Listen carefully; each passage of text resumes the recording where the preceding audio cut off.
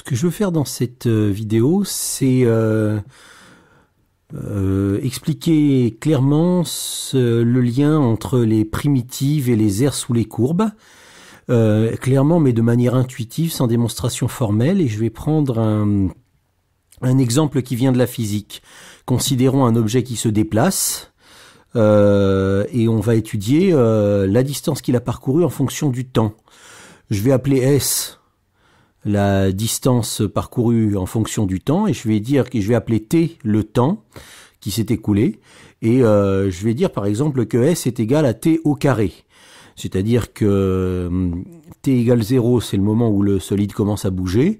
Et si t est égal à 3, ça veut dire qu'après 3 euh, secondes, euh, le solide aura parcouru 3 au carré, 9, je sais pas, 9 mètres, 9 centimètres, etc. l'unité que vous voudrez. Donc S, c'est la distance parcourue, c'est une fonction S de t, et t, c'est le temps qui s'est écoulé. Et on va essayer de voir les liens entre la distance et le temps. Bon, là, il y a une fonction claire, la fonction t au carré. Cette fonction, ben, on peut dessiner son graphe. Hein, je vais dessiner un repère de coordonnées. Voilà, axe des abscisses, axe des ordonnées. Et euh, c'est un graphe qu'on connaît bien, le graphe de t au carré. Hein, pour, euh, pour des questions d'air sous la courbe, euh, le, repère doit être orthonormal. Hein. donc on va prendre, on va considérer qu'on a la même unité sur l'axe des abscisses et sur l'axe des ordonnées. Et on va prendre l'axe des ordonnées tout à fait à gauche, puisque si le solide commence à démarrer à t égale 0, ça veut dire que les valeurs de t négatives, c'était au moment où le solide bougeait pas encore, et ça nous intéresse pas. Donc euh, t au carré, c'est une parabole. Hein, tout, le monde connaît cette parabole. Euh, c'est une parabole qui ressemble à ça. Voilà, on va, on va mettre des titres aux axes. Euh, l'axe des ordonnées, c'est S. L'axe des abscisses, c'est T. Et euh, voilà la distance en fonction du temps qu'on peut lire sur le graphe. Maintenant, on va s'intéresser à la vitesse de cet objet. Hein, on voit que le graphe a l'air de monter de plus en plus au fur et à mesure qu'on s'éloigne. Ça veut dire que la vitesse augmente. D'accord? Et comme la vitesse ne reste pas la même tout le temps, la vitesse augmente, je vais essayer de voir comment je peux déterminer la vitesse instantanée, c'est-à-dire la vitesse d'un objet à un temps t précis. Alors la vitesse, c'est la distance euh, divisée par le temps. On obtient la vitesse en divisant la distance par le temps. Eh bien, euh, la vitesse instantanée, ça va être, euh, ça va être considéré comme en quelque sorte la limite d'une toute petite distance parcourue autour d'un tout petit laps de temps. Hein, ce que les physiciens appellent ds sur dt, et qu'en mathématiques on appelle la dérivée. Hein, c'est euh, la vitesse comme dérivée de la distance parcourue. C'est un concept qu'en physique on connaît bien. Hein, c'est même l'une des premières utilisations de la fonction de dérivée. Voilà. Donc la, dérivée, euh, la dérivée de t au carré, c'est 2t. Et donc euh, c'est elle qui va nous donner la vitesse en fonction du temps. Et euh, ben, euh, la fonction euh, de t, hein, v en fonction de t, si jamais si j'appelle v la vitesse, c'est une fonction qui est, dont il est très facile de dessiner le graphe. C'est une fonction linéaire. Son graphe est une droite qui passe par l'axe des origines, qui passe par l'origine, excusez-moi, et qui a pour coefficient directeur 2. Donc je trace cette droite. Ben, je trace cette droite à peu près comme ceci.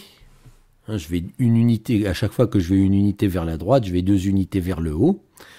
Et voilà euh, donc euh,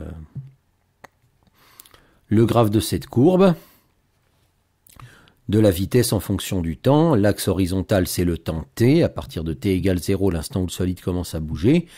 Et euh, l'axe des ordonnées, c'est v. Et on voit bien que la vitesse augmente en fonction du temps qui passe, parce que la courbe euh, ne reste pas, euh, la courbe de la vitesse ne reste pas constante, elle va vers le haut. Bien. Euh, maintenant, sur cette courbe de vitesse, comment est-ce que je peux voir le déplacement? D'accord? Eh bien, le déplacement, si la vitesse c'est la distance divisée par le temps, alors la distance parcourue c'est la vitesse multipliée par le temps.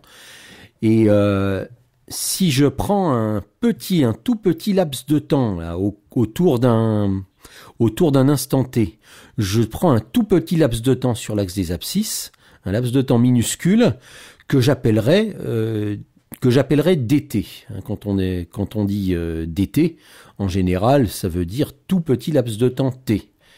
Hein, c'est serait la différence d comme différence entre entre deux t qui seraient très proches l'un de l'autre et que je regarde la distance parcourue pendant ce tout petit laps de temps, eh ben il faut que je multiplie par la vitesse, euh, par la vitesse que je lis sur l'axe des ordonnées de ce graphique. Et donc euh, donc en fait, euh, l'idée, pourquoi un tout petit laps de temps? L'idée c'est que pendant ce tout petit laps de temps, la vitesse ne va pas beaucoup varier. Euh, et si la vitesse ne va pas beaucoup varier, ben elle peut être considérée comme étant vaguement à peu près constante sur ce tout petit laps de temps.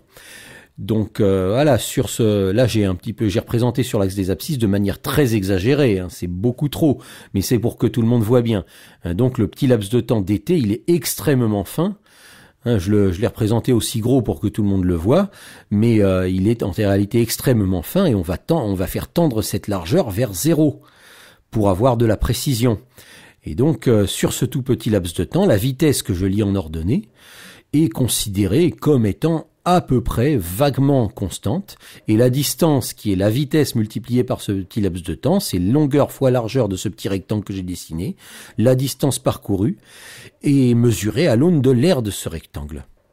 ce serait la distance parcourue serait représentée par l'aire de ce rectangle. Donc dans ce tout petit laps de temps là, la distance parcourue, eh ben je la lis, c'est l'aire de ce rectangle là.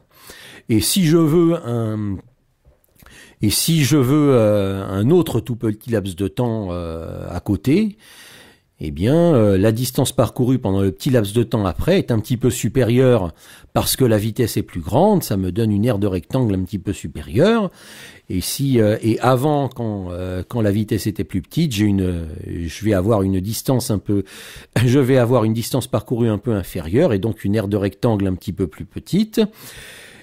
Et si je veux donc mesurer la distance parcourue depuis le départ jusqu'à un certain temps, ben un temps que je vais appeler par exemple T0, que je définis ici sur l'axe des abscisses, eh bien ce sera la somme de toutes les distances parcourues avant. La somme, c'est-à-dire euh, on va euh, additionner toutes ces aires de rectangle de largeur infinitésimale, hein, toutes ces aires de rectangle que je dessine ici, depuis 0 et jusqu'à T0 sur l'axe des abscisses, ce qui va nous donner l'air sous la courbe.